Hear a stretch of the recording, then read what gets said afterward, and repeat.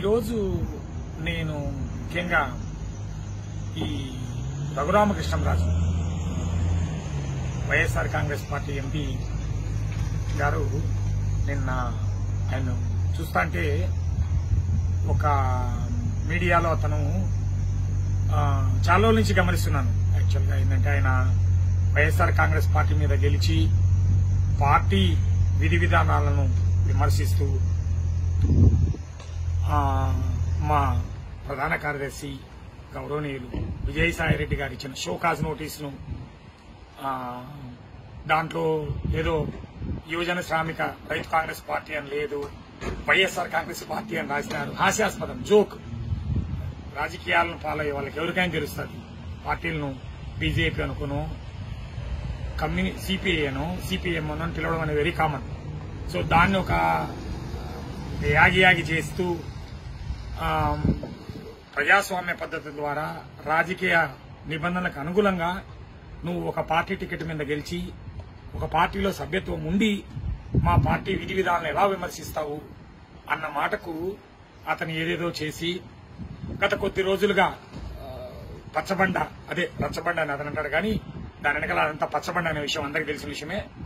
పచ్చబండ అంటూ పెట్టు దానికి మద్దతుగా ఈ పచ్చ మాఫియాలన్నీ ఆయన పచ్చబండం చూపిస్తున్న విధానాలు చూస్తుంటే నవ్వొస్తుంది. ముందుగా ఆయన ఈ మధ్య రాజ్ గారు మీ ఆత్మను మీరు ఎప్పుడు అంటా ఉంటారు మీరు? మా పార్టీ నాయకులను మా పార్టీ కార్యకర్తలను మా పార్టీలు అందరినీ కూడా మీరు మీ ఆత్మ పరిశీలన చేసుకోండి మీ మనసాక్షిగా మాట్లాడు ముందు మీ మనసాక్షిని మాట్లాడుకోండి. ఈ మధ్య కాలంలో మీరు ఒకటే ఒక సామాజిక వర్గానికి YSR Congress party YSR Congress party అధ్యక్షులు కాపు కాస్తున్నారు అన్న ఒక విషయాన్ని మీరు చెప్తున్నారు.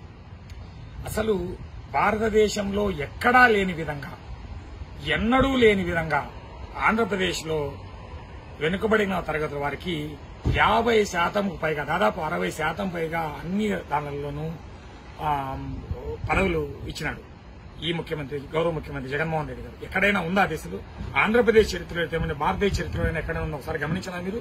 మిమ్మల్ని మీరు క్వశ్చన్ చేసుకోండి. ఐదు మంది ఉప ముఖ్యమంత్రులు. ఐదు మంది ఉప ముఖ్యమంత్రులు తీసుకున్న మైనార్టీలు బీసీలు ఎస్సీలు అందరినీ ఎస్టీలు కలుపుకొని ఇచ్చారు. ఇది ఎక్కడైనా ఇంతకుముందు ఉందా? విన్నారు అసలు మీరు? ఇక్కడొచ్చి మీరు రెడ్డి సామాజిక వర్గానికే ఎక్కువ ప్రాధాన్యత కల్పిస్తున్నారు. ఒక మీ మీ మీ మీ చేతగానితనాన్ని కప్పుపిచ్చుకుండే రకంగా మీరు మాట్లాడుతున్నారు. చాలా తప్పు. మీకు ఈ ఈ పర్టికులర్ పాయింట్లో నేను కొన్ని చెప్పదలుచుకున్నాను మీకు. రెడ్లు ప్రధానంగా రెడ్లు సామాజిక వర్గం బాగా ప్రాధాన్యత ఉన్న అనంతపురం జిల్లా నుంచి మంత్రి ఎవరో తెలుసా మీకు? వెనుకబడిన తరగతుల వారికి మా ముఖ్యమంత్రి గారు మంత్రి పదవిని ఇచ్చారు. అలాగే కర్నూలు. స్వతంత్రం పుట్టినప్పటి నుంచి కర్నూలు జిల్లాలో రెడ్డి సామాజిక వర్గానికి ఎంత ప్రాధాన్యత ఉందో మీకు తెలుసు. కర్నూలు జిల్లాలో మీకు ఒక బీసీ మంత్రికి మంత్రి పదవి కేబినెట్ మంత్రి పదవి ఇచ్చిన విషయం మీకు తెలుసా? మీ ఆత్మను మీరు విమర్శ చేసుకోండి. మిమ్మల్ని మీరు క్వశ్చన్ చేసుకోండి. జగన్మోహన్ రెడ్డి పరిపాలనలో అన్ని వర్గాల ప్రజలకు అన్ని కులాల ప్రజలకు ఇంతకుముందు గతంలో ఉన్న ప్రభుత్వాల కంటే గతంలో ఉన్న రాజకీయ పార్టీల కంటే భారతదేశంలో లేని ఎన్ని ఎక్కడా లేని విధంగా ప్రాధాన్యత కల్పిస్తున్నారు. దాన్ని మీరు ఒకసారి పరిశీలించుకోండి. ఇక రెండో విషయం. మీరు నిన్న యువ పార్లమెంట్ సభ్యులు రాజంపేట ఎంపీ మిథున్ రెడ్డి గారి గురించి పెద్దిరెడ్డి మిథున్ రెడ్డి గారి గురించి మాట్లాడాను పెద్దిరెడ్డి ఆ ఫ్యామిలీ పేరు తీసుకోవడానికి కూడా మీకు అర్హత లేదు. ఏం తెలుసని మీరు ఆ ఫ్యామిలీ గురించి నిన్న మాట్లాడుతున్నారు మీకు? పెద్దిరెడ్డి రామచంద్రారెడ్డి గారు మా పెద్ద ఆయన అంటాము మా ఎంపీ గారి తండ్రి పంతొమ్మిది వందల డెబ్బై నాలుగులో అత్యంత ప్రాధాన్యత కలిగిన శ్రీ వెంకటేశ్వర యూనివర్సిటీ నుంచి విద్యార్థి విభాగం అధ్యక్షుడిగా యునానిమస్గా ఏకగ్రీవంగా ఎన్నికైనారు. ఎంతో ఒక విద్యార్థి దశలోనే ఒక విద్యార్థి నాయకుడిగా ఎదగడం అంటే అన్ని కులాల వాళ్ళను అన్ని మతాల వాళ్ళను తన చుట్టుపక్కల ఎంతో ఆవేశంలో ఉన్న యువకులందరినీ సమైక్యంగా చేసి ఏకగ్రీవంగా గెలిచి తన రాజకీయ జీవితాన్ని మొదలుపెట్టిన పెద్దిరెడ్డి రామచంద్రారెడ్డి గారు దాదాపు ఆరు సార్లు ఎమ్మెల్యేగా గెలిచారు. నీ క్వశ్చన్ తెలుసా ఎప్పుడన్నా ప్రాంతానికి వెళ్ళావా నువ్వు? చిత్తూరు జిల్లాలో పెద్దిరెడ్డి గారి చేత సాయం చెందిన వాళ్ళు కానీ పెద్దిరెడ్డి ఫ్యామిలీతో బాగుపడినలు కానీ లక్షల్లో ఉంటారు. ఇలా చూడు ఆరు సార్లు పైన ఎమ్మెల్యే అయ్యాడు ఆయన.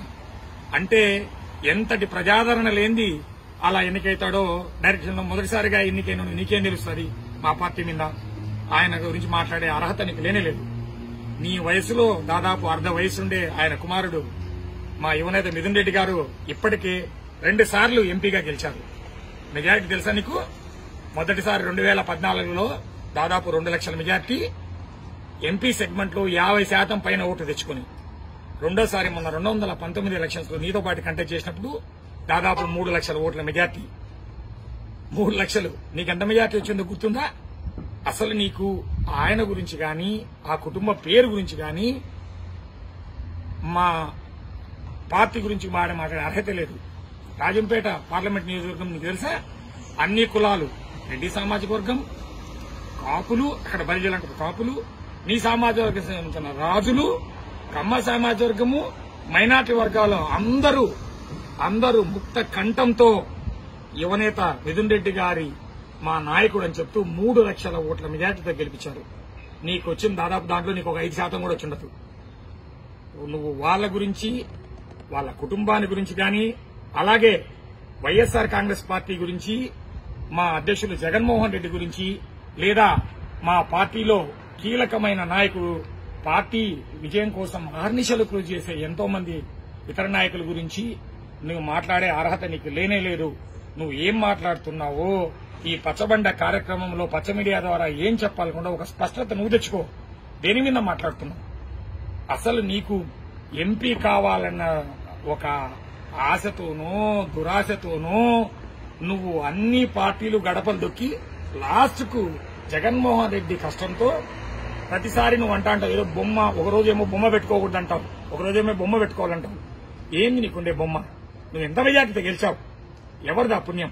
ఒకసారి నేను ఆత్మశైలి పని చేసుకుని రాజు గారు నీకు వైఎస్ఆర్ కాంగ్రెస్ పార్టీ గాని మా అధ్యక్షుల మీద గాని మా నాయకుల మీద గాని అలాగే ముఖ్యంగా నువ్వు అంటున్న నువ్వు చేస్తున్న పెద్దిరెడ్డి ఫ్యామిలీ కుటుంబం గురించి మాట్లాడడానికి వాళ్ళ కాలి కోటికి కూడా నువ్వు సమానం కాదు.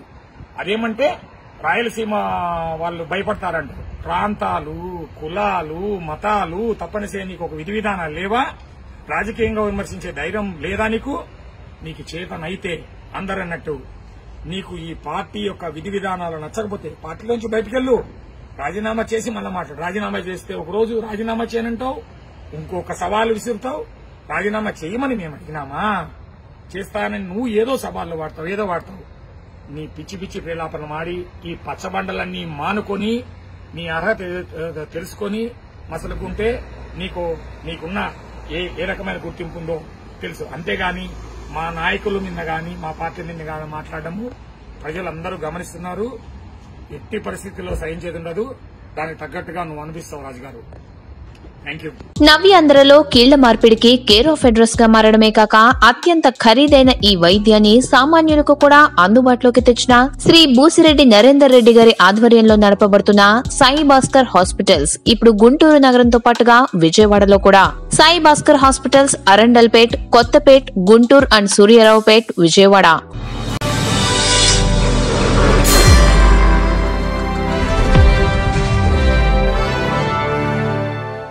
ఇప్పుడు మీరు చూసిన ఈ వీడియో మీకు నిజమనిపిస్తే లైక్ చేసి మీ ఫ్రెండ్స్తో షేర్ చేయండి. మరిన్ని నిజాలను తెలుసుకోవడం కోసం మా నిజం ఛానల్ని సబ్స్క్రైబ్ చేయండి. అలాగే బెల్ ఐకాన్ని క్లిక్ చేయడం మాత్రం మర్చిపోకండి.